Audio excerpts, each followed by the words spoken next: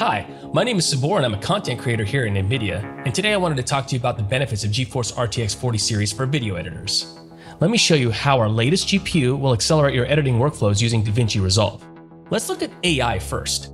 AI tools have become increasingly important in video editing workflows, such as surface tracking and much more.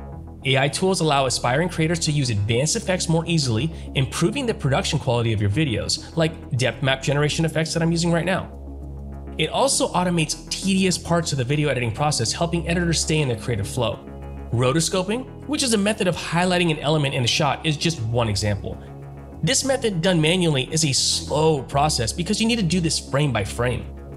But with AI, I can mask this object just by selecting it, and AI cuts the exact shape out and tracks it across multiple different frames.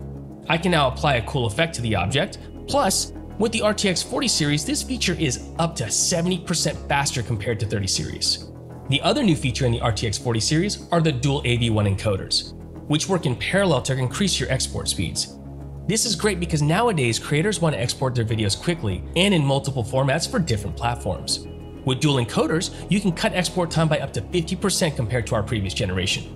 The high-speed decoder will also allow you to work and load on your files directly in RAW without having to create lower quality versions, also known as proxies.